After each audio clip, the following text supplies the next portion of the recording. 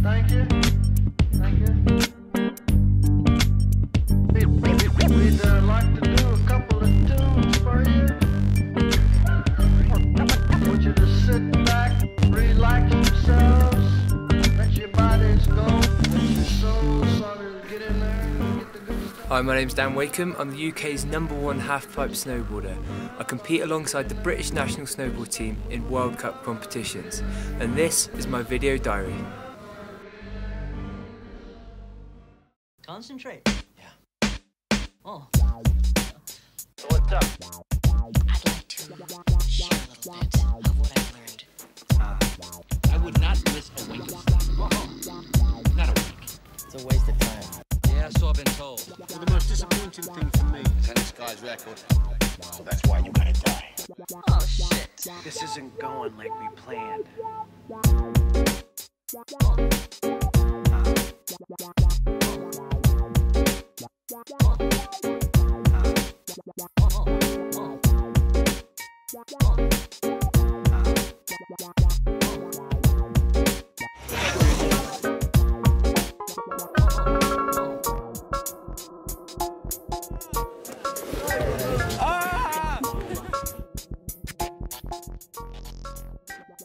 Just in Saas-Fee, Switzerland, um, just about to leave.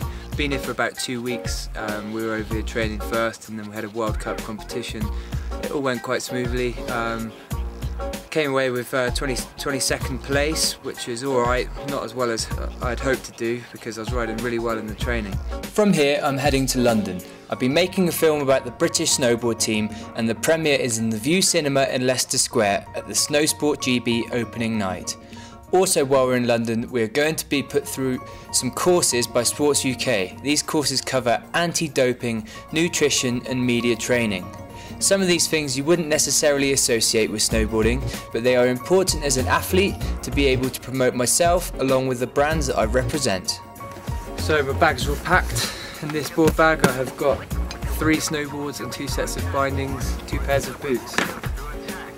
It's nice to come prepared because uh, you never know what may happen, especially when you come for a competition. You can quite easily just break a board, and so it's good to have spares. But the only disadvantage is it, it's a lot of stuff to lug around with you, you know. So, but never mind, you can just deal with that. We are now in London at Sport UK. We have come here to be educated on anti-doping. Not the snowboarders are really known for taking any drugs that are actually sports enhancing. The anti-doping talk was a bit mind-numbing. The Lucozade section was interesting, but I feel I got a little bit lost in the technical talk and found myself easily distracted by the Jetman game on my computer.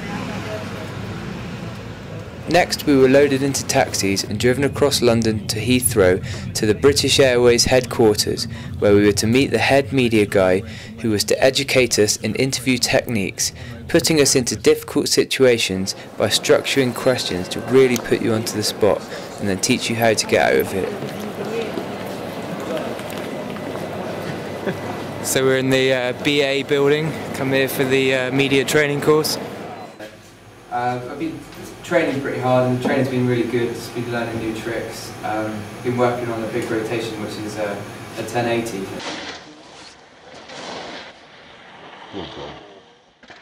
The evening came around and we were to attend the Snowsport GB season opening night in the Vue Cinema in Leicester Square. It was a red carpet affair and I found this was a good chance to put my media training into practice. I had made a short film, an introduction to the British snowboard team, which was the first film to be played on the big screen. It was good to see it played so big and I got a really good response from the audience.